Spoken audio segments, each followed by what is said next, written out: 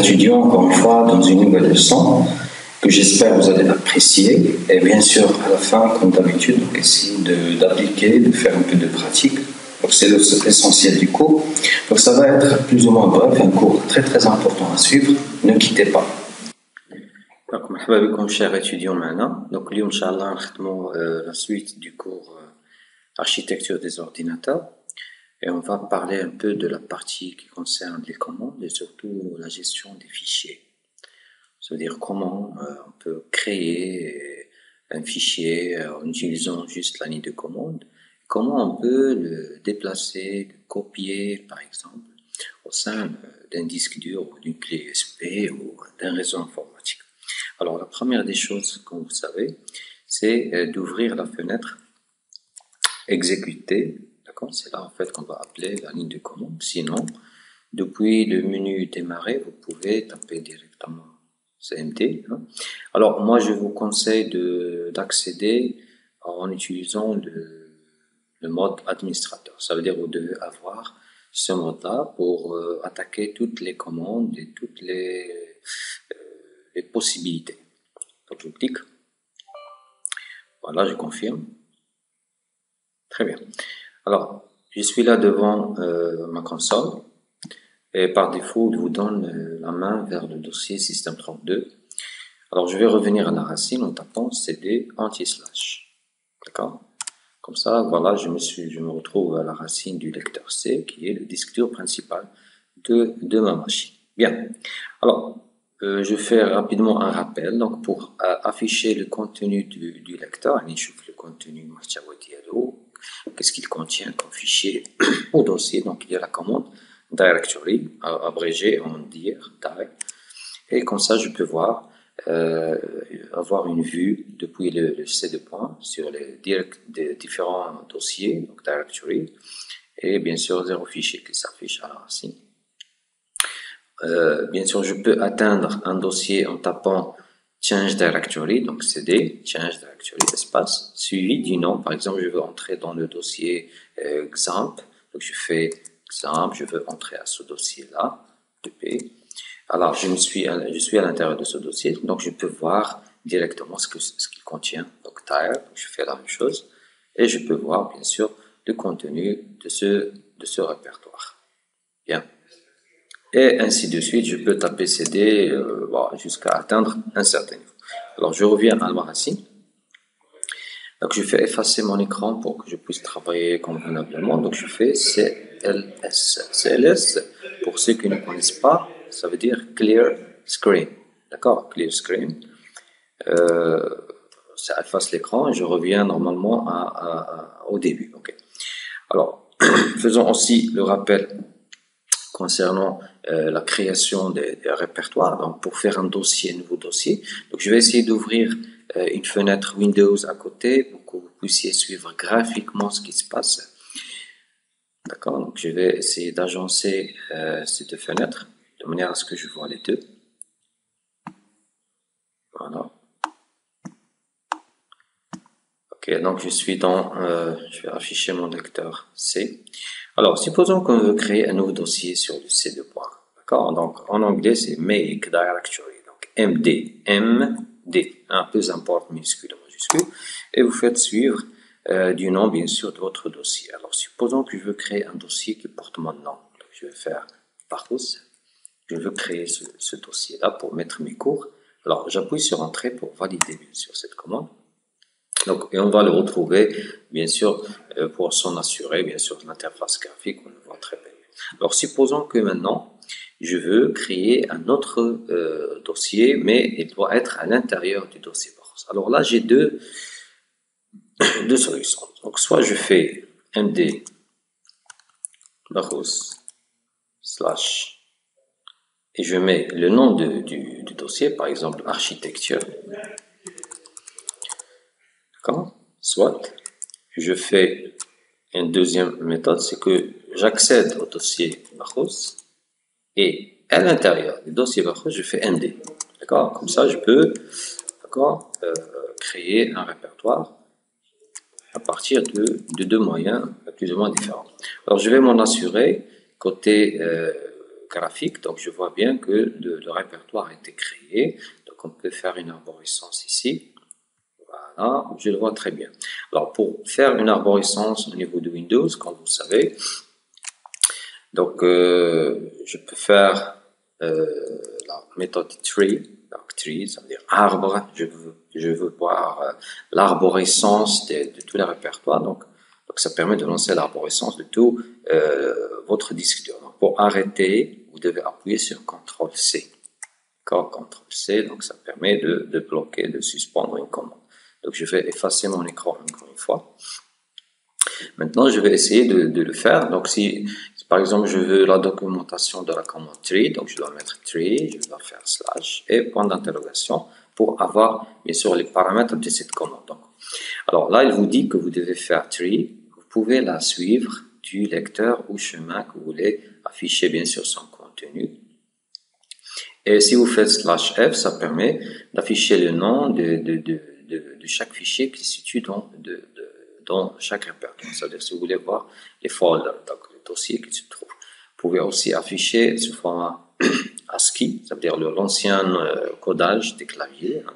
Si vous voulez bien sûr afficher un nom abrégé pour votre euh, lecteur.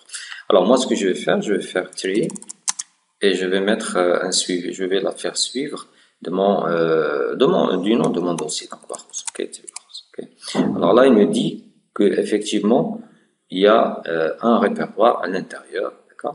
Donc ça, en fait, c'est un petit rappel qu'on a vu.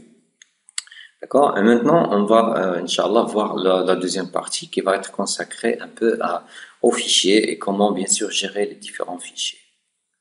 Merci.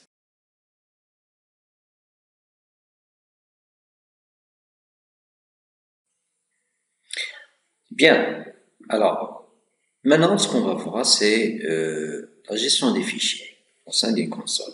Et comme rappel, euh, parce qu'il y en a qui vont dire, ah bon, à quoi ça va servir la, console, la CMD, si on a Windows et la partie graphique euh, qui est plus simple normalement à utiliser. Je dis oui, c'est vrai, Sauf que euh, dans le monde d'administration, bien sûr d'administration informatique et des systèmes informatiques, alors on est censé savoir ces commandes-là au cas où il y a un échec du lancement du système d'exploitation. Par exemple, Windows a été attaqué par un virus, ou là il y a eu une mauvaise manipulation, suppression accidentelle de, fichiers. Sinon, euh, vous avez euh, installé un truc, un logiciel euh, mal qui ne convient pas, donc votre machine risque de ne plus démarrer.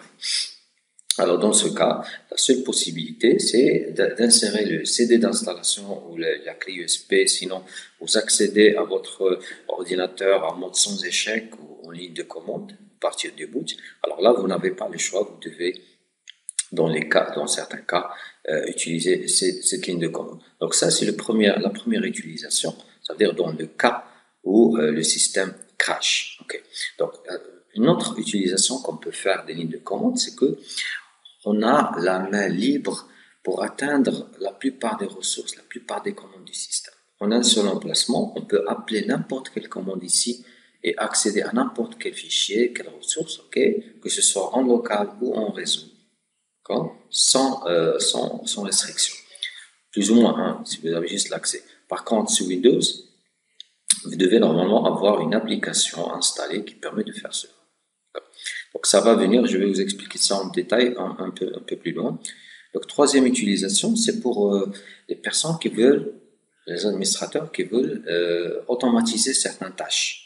Par exemple, je veux faire une sauvegarde, je veux déplacer des fichiers, je veux faire une recherche, euh, je veux, euh, par exemple, dupliquer des répertoires. Euh, ok, donc dans ce cas-là, vaut mieux utiliser des, des, des, tâches automatiques. Donc, pour faire cela, vous devez écrire un script, d'accord euh, Bien sûr, avec les lignes de commande, ça, c'est plus ou moins en rapport avec la programmation, parce qu'il y a des structures de, conditions, il y a des boucles, ok, il y a des appels, des codes des débuts et des fins. Donc, c'est un peu de la programmation. Donc, vous devez normalement apprendre ce genre de, euh, de commandes parce que ça fait énormément la distinction entre euh, euh, un, utilisateur normal et un professionnel en informatique. Alors, nous allons continuer notre présentation. Alors, cette fois, euh, on va essayer d'attaquer un peu les fichiers. Pour créer un fichier, comme vous savez, on peut taper directement ici notre pad pour appeler de notre euh, éditeur de texte. On peut bien sûr euh, remplir un texte ou créer un nouveau texte. Comme on peut demander à notre commande, ligne de commande CMD, de nous créer un fichier à partir de, de ce qu'on va taper. Alors, normalement, ce qu'on est en train d'utiliser, c'est la console. Donc, on peut on peut lui dire de copier ce qui se trouve sur la console. Copy can. Copier ce que je vais taper sur la console actuellement dans euh, un fichier qui va s'appeler texte, par exemple, ou mon texte.txt. Ok? Alors, qu'est-ce qui va se produire? C'est que lorsque j'appuie sur Entrée, alors là, euh, le système il attend à ce que vous tapez du texte. Par exemple, je peux écrire euh, DOS vous dit bonjour. D'accord? Veuillez suivre le cours. Ok? Merci. N'importe quoi. Alors, pour arrêter l'enregistrement, donc on va appuyer sur la touche F6 de votre clavier. Donc ça va vous donner ce symbole-là. Et vous appuyez sur Entrée pour clôturer le fichier. Alors ce qui va se produire, c'est que le système va générer un fichier texte qui porte le nom montext.txt avec bien sûr ce contenu-là. Alors, nous allons vérifier, effectivement, est-ce que, est que ce fichier existe vraiment? Je vais taper la commande dire je vais voir est-ce que je vais trouver mon texte.txt. Donc, il me dit que euh, oui, il est là. Donc, mon texte.txt avec 57 euh, octets comme taille. Alors, est-ce que je peux euh, éditer ce fichier directement ici? Bon, bien sûr, sous, l'interface graphique, on peut le voir. Donc, il a été créé, il est là. On peut même l'ouvrir hein, avec l'éditeur. On voit ce que le même texte qu'on avait tapé, donc il s'est reproduit. Et pour ce qui est la console, vous devez taper une commande qui permet euh, d'afficher le contenu du texte. Donc ça s'appelle type. Alors, et vous, euh, vous montrez le chemin ou le nom de votre euh, fichier texte et comme ça on peut récupérer son contenu sur écran. On voit bien le même résultat qui s'affiche ici. D'accord? Donc là on a vu comment créer des fichiers directement à partir de la console dans le cas où vous voulez faire une nouvelle configuration de la machine, etc. Donc vous pouvez taper la config que vous voulez et la placer dans les dossiers système par exemple. Donc ce genre de choses. Donc je vais afficher l'écran. D'accord? Et, là, en fait, je vais essayer de, euh, de copier le fichier que je viens de faire vers le répertoire Barros. Ok, alors, comment on fait? Donc, on a déjà vu, on a déjà dit que la commande copie permet de, de copier à partir de la console, mais aussi copier à partir d'une source. Alors, la source, c'est le nom de mon fichier, donc mon texte.txt. Et là, je dois indiquer sa destination. Donc, remarquez bien, donc copie, c'est la commande espace suivi du nom de fichier, la source, le fichier que vous voulez copier, et espace, et vous mettez la destination, vers où vous voulez copier ce fichier. Alors je vais mettre c de point slash, le dossier Barous, slash, et le dossier, je vais voir, je ne me rappelle plus, hein, architecture, voilà, vers le dossier architecture. Ok, donc vérifiez bien que c'est correct. Alors je fais entrer. Alors il me dit que effectivement mon fichier a été copié. Donc depuis la source vers cette destination. Alors je vais vérifier. Oui, effectivement, il est là. Donc c'est une simple copie, c'est pas un déplacement. Donc on voit bien que la source est toujours là et la copie a été bien euh, déplacée ou plutôt copiée.